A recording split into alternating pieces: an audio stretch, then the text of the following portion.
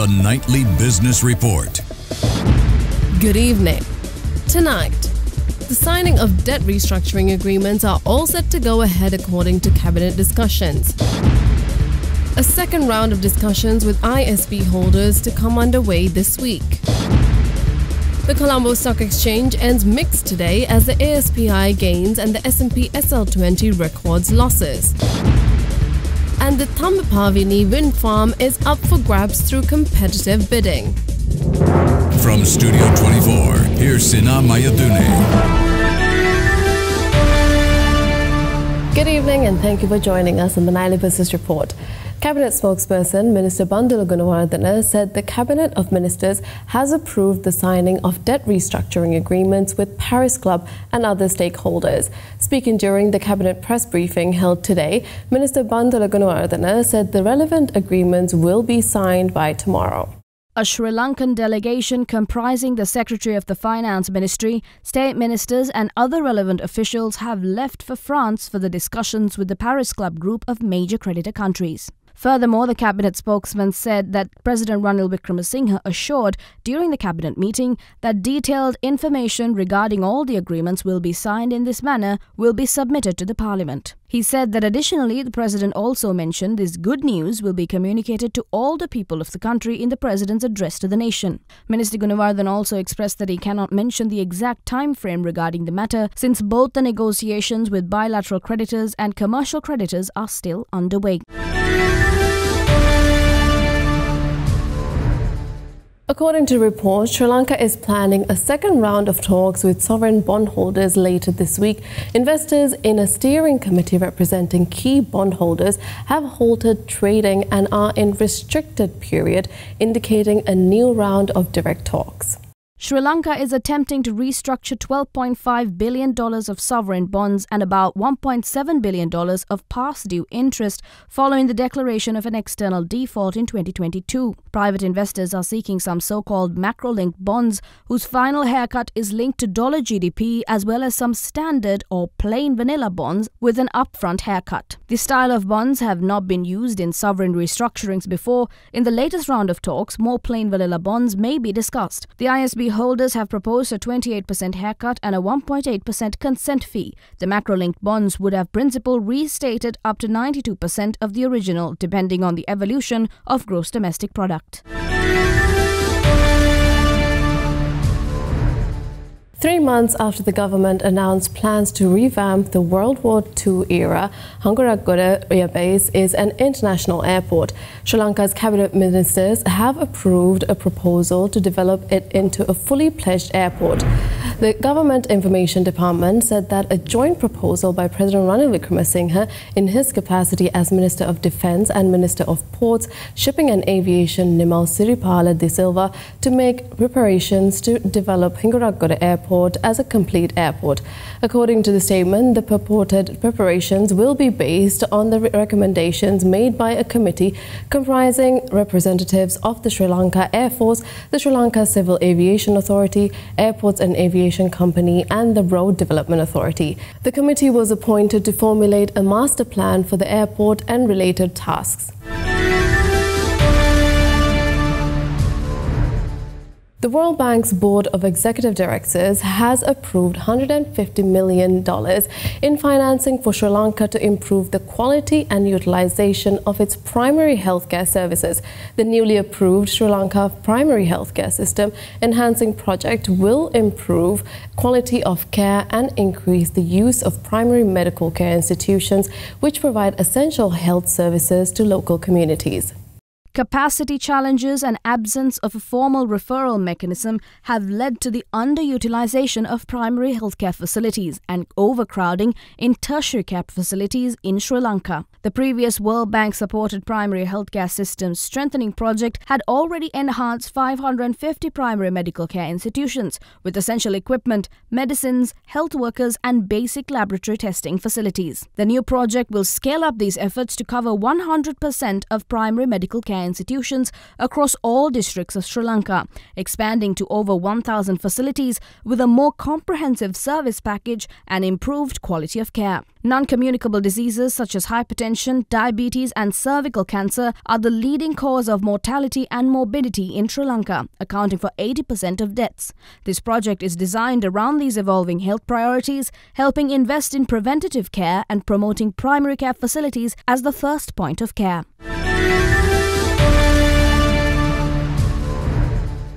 Sri Lanka's state-run National Water Supply and Drainage Board has made a profit of 5.2 billion rupees in the year to December 2023 after a tariff increase despite not getting money for 25% of its water it pumps out.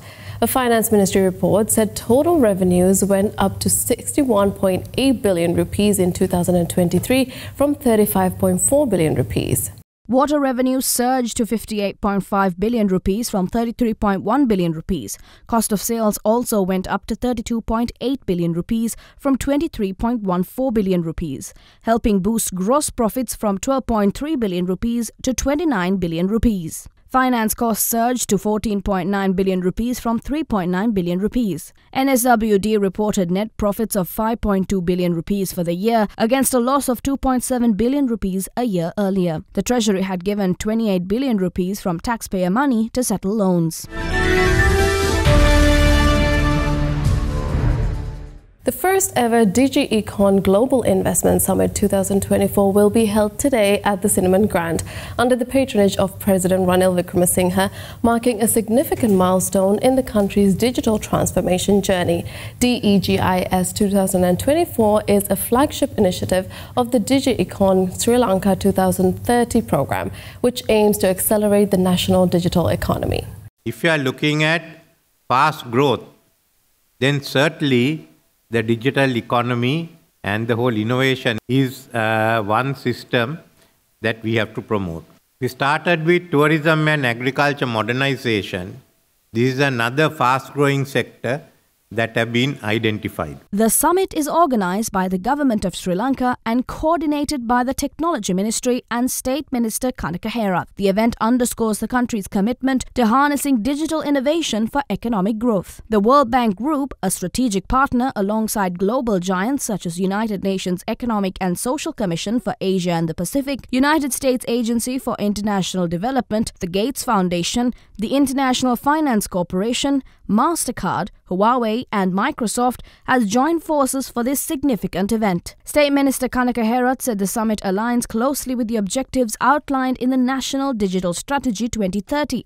It provides a unique platform to showcase Sri Lanka's dynamic tech ecosystem to international investors. Finance Minister Shehan Semasinghe will be speaking at the OPEC Fund Development Forum today in Vienna, Austria. The forum will be joined by 125 partner countries, multilateral development banks, global development institutions, and prominent private sector players to exchange insights and drive concrete action under the overreaching theme of driving resilience and equity, in line with Sri Lanka's commitment to South cooperation. Let's take a short commercial break. This is an Nightly Business Report.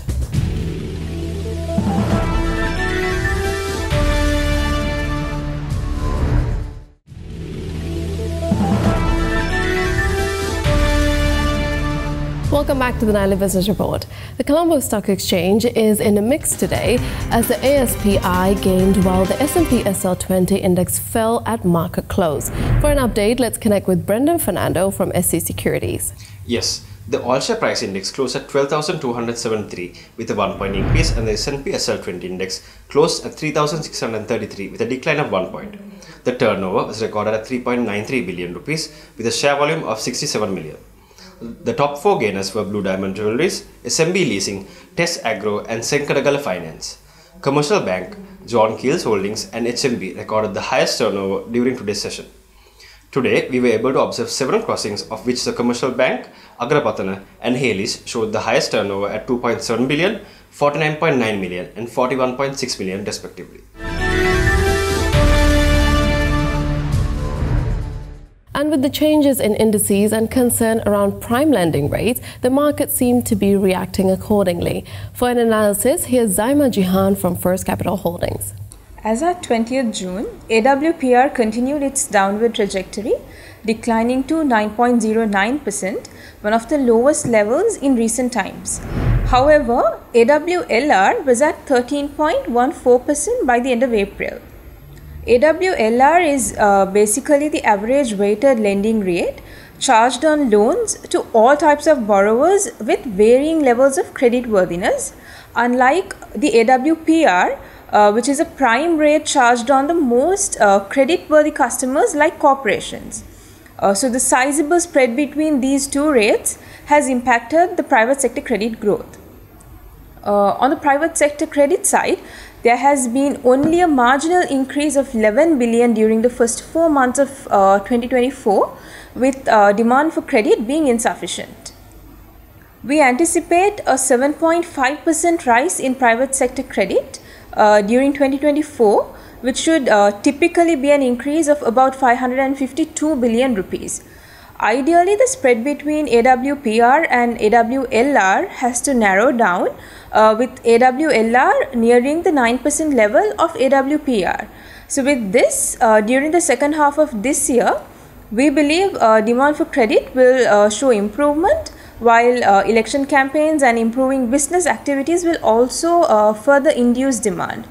In terms of auctions, uh, LKR 160 billion is expected to be raised by uh, CBSL at the weekly T-bill auction scheduled for tomorrow, while a treasury bond auction is announced for 27th June, raising uh, LKR 75 billion from 2028 and 2033 maturities.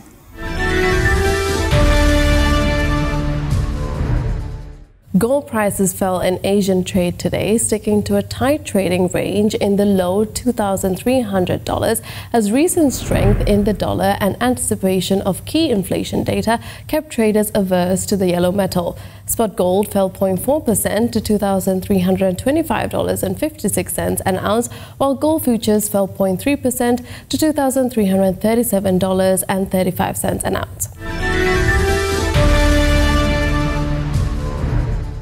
Brent crude fell today while investors awaited U.S. inflation data later this week, but prices held above $85 level after the previous session's gains on escalating geopolitical tensions and hopes of improved demand this summer.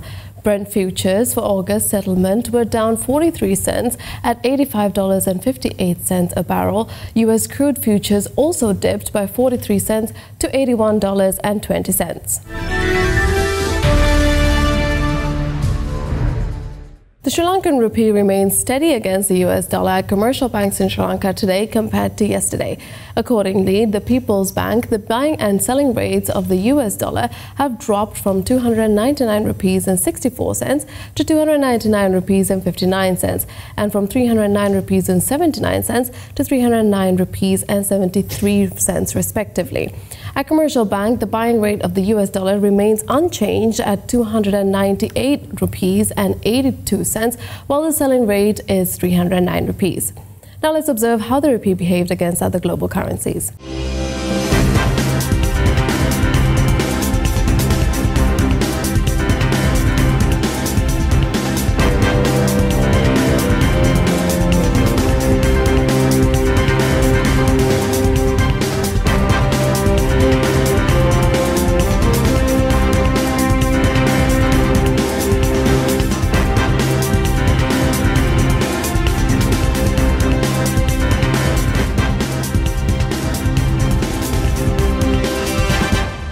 Short commercial break. This is the Nightly Business Report.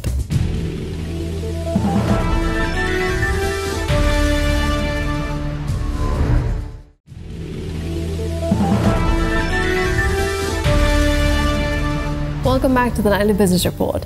Cabinet spokesperson Mr. Bandula Gunawardena said Sri Lanka will call competitive bids to select a new operation and maintenance contractor for Ceylon Electricity Board's Thambapavani wind farm. The existing O&M contract with Vestas Wind Lanka Private Limited for three years has ended in May of this year. Minister Gunawardena said, therefore, a new service provider should be selected for these functions. Accordingly, the Cabinet approved the proposal presented by the Minister of Power and Energy to select a suitable service provider following a competitive procurement process. Situated on Mannar Island in Sri Lanka's northwest coast, Thambapavani is the country's largest wind farm. Ravi Wijayewantha has been appointed to the board of John Keells plc as a non-executive director with effect from 1st of July. Wijayewantha joined the John Keells Group in September 2003 and was appointed as Sector Financial Controller of the Property Industry Group in July 2006 and Chief Financial Officer of the same industry group in July 2017. He is a member of the Group Operating Committee of the John Keells Group and will be taking over additional responsibilities as the Chief Financial Officer of the Plantation Services sector, as well as oversight responsibilities over John Keells IT and Infomate with effect from the 1st of next month. He has over 25 years of experience in the field of auditing and accounting. Sri Lanka's Brown and Company plc has sold its subsidiary Brown Fabrics Limited to Ceylon Knit Trend Private Limited. The company said in a stock exchange filing that it has disposed its 100% shareholdings of Brown's Fabric Limited to Ceylon Knit Trend for a total consideration of 50 million rupees. Brown's Fabric Limited operates a knit fabric manufacturing and processing plant in Pannala in Kurunegala. The Board of Investment backed state of the art Weft Knit fabric production facility was established with an investment of $52.3 million to produce fabric for the export-oriented apparel industry in Sri Lanka. Shares of Brown & Company, a subsidiary of the LOLC Group, was trading up at 123 rupees. Brown's Group is spread across several industry sectors including power generation, agriculture and plantation, pharmaceuticals, investments, marine and manufacturing, as well as leisure. Knuckles Water, in collaboration with one of the country's largest humanitarian organizations, the Sri Lanka Red Cross Society, has taken decisive action to support communities affected by recent flooding across Sri Lanka marking the first step in a broader effort to ensure immediate access to clean drinking water for flood affected families. Knuckles Water, bottled by Cargill's Food and Beverages Limited, has donated 5 litre knuckle water bottles to SLRCS Gampaha to aid the relief efforts. Over 1,000 families benefited from the distribution program, which focused on the Bollagala and Gagabadapara GS divisions, with around 600 families from each area receiving aid. Arjuna Kumara Singha, the managing director of Cargill's Food and Beverages Limited, said at Cargill's they believe in extending a helping hand to fellow Sri Lankans in times of need. Their partnership with the Sri Lanka Red Cross Society allows them to make a meaningful contribution to the well-being of those affected by the floods. Knuckles water is bottled at source in surroundings of the Knuckles mountain range. This donation underscores the brand's commitment to providing high quality products while actively participating in humanitarian efforts. A seven-member delegation led by the Thai Chamber of Commerce and the Board of Trade of Thailand chairman met with the Ceylon Chamber chairman Duminda Hulangamuwa along with senior representatives of the chamber yesterday, culminating in the renewing of a memorandum of understanding to further enhance trade, investment and tourism between Sri Lanka and Thailand. The MOU was signed in the presence of Ambassador designated to Thailand, Wijayawanthi Edirisinghe, and the Sri Lanka Greater Mekong Business Council of the Ceylon Chamber of Commerce President. This event marks a renewal of a historic partnership as the Ceylon Chamber's first MOU was originally established with the Board of Trade of Thailand in 1988. Let's take a short commercial break. This is the Nightly Business Report.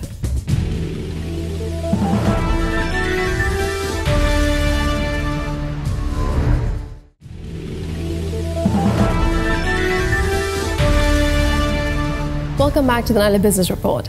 Asian stocks rose today, recovering a measure of recent losses as investors awaited more cues on a potential trade war between China and the West, while upcoming inflation prints were also in focus. China's Shanghai Shenzhen CSI 300 and Shanghai Composite indices rose 0.1% each, while Hong Kong's Hang Seng Index surged nearly 1%. Japan's Nikkei 225 index rose 0.5%, although losses in heavyweight tech stocks kept the index trading largely range-bound. But the broader Topix index surged 1.4%, boosted by a rebound in economically sensitive stocks. Among other Asian markets, Australia's ASX 200 rose 0.9%, boosted by mining stocks on stronger commodity prices. South Korea's Kospi added 0.4%, with bigger gains being held back by losses in technology stocks. Over in the US, the S&P 500 and Nasdaq ended lower on the rotation out of technology stocks, whose outsized gains have led this year's rally. Tech stocks bucking Monday's downward trend were Apple and Meta Platforms, both of which rose after a report said the Facebook parent has discussed integrating its generative AI model into Apple's recently announced AI system for iPhones. Technology and consumer discretionary stocks were the lone decliners among the 11 S&P 500 sector indexes. Energy was the top outperformer, gaining more than 2.5%. The biggest event on investors' radar this week is Friday's Personal Consumption Expenditures Price Index report, the Federal Reserve's preferred inflation gauge, which is expected to confirm that price increases are cooling.